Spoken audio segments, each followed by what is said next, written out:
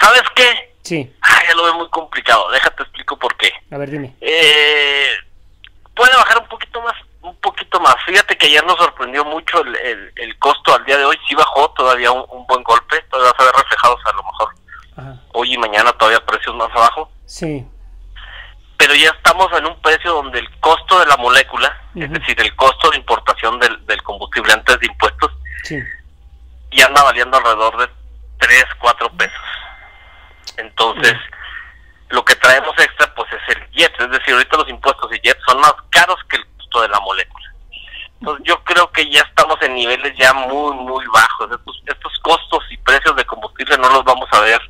Mira, si no tuviéramos ahorita el JEPS como está, ahorita encuentras gasolina a 14 pesos. Quítale el JEPS, te andaríamos alrededor de costo de gasolina a- ya con la utilidad y ganancia del gasolinero alrededor de 10 pesos.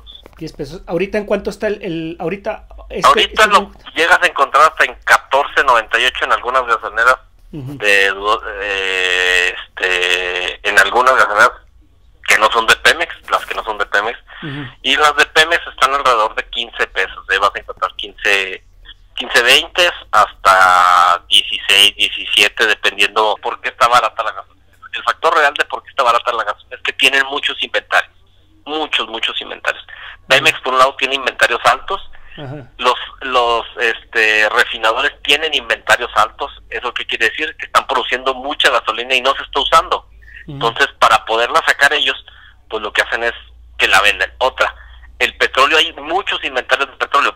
Eh, Rusia y los países árabes están produciendo mucho combustible, mucho, mucho, para poder llegar a una guerra de precios. Ellos son los que tienen los precios tan bajos. Y luego otra, China no está comprando combustible porque como su economía la, la contrajo, es decir, pararon fábricas, pararon ciudades, pararon, pararon, pararon, pues no compra. China dice, no te compro. China no mm, tiene refinerías, pero no compra petróleo, entonces el petróleo se abarata mucho. Hay mucho petróleo ahorita, hay mucha gasolina ahorita.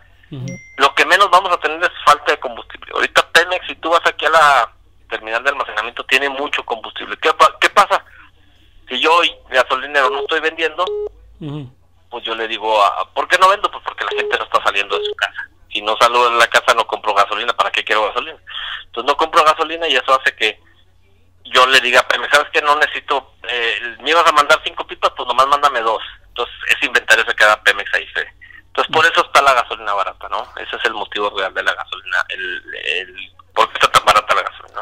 ¿no? Ajá. Y mira, en, en Onexpo hemos tomado la, la medida de, de no despedir trabajadores. Y probablemente adelantemos vacaciones como tales, pues les digamos a los despachadores, saben que pues no tenemos trabajo, váyanse a su casa de vacaciones, 15 días, los días que tengas de vacaciones, este vamos rotando el personal, vamos cerrando posiciones de bomba, vamos abriendo en la noche, dejo los turnos de despachadores, pero que sea, este, dependiendo cómo se vaya poniendo la situación, ¿no?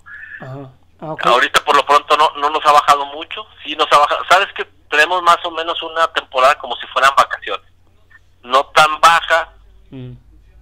independientemente que el costo está muy abajo, el, eh, el gasolinero lo que está haciendo es más o menos como temporada de vacaciones, Haz de cuenta que estamos en Semana Santa, ahorita en Durango, si tú te fijas más o menos así funciona, se mueven más o menos los, los carros que van a trabajar, de la mañana no hay carros que vayan a llevar niños a la escuela, entonces el tráfico se mantiene más o menos como si fueran las vacaciones de Semana Santa. Si se para un poco más la ciudad, yo creo que esta semana, ayer ya se paró un poco más, Ujú. si esta semana veo que el fin de semana se empieza a ver, probablemente la semana que entra, que ya es vacaciones reales, pues sí tengamos que hacer. Yo esperaría entre un 20 y un 30% del personal estarlo abandonando. Lo que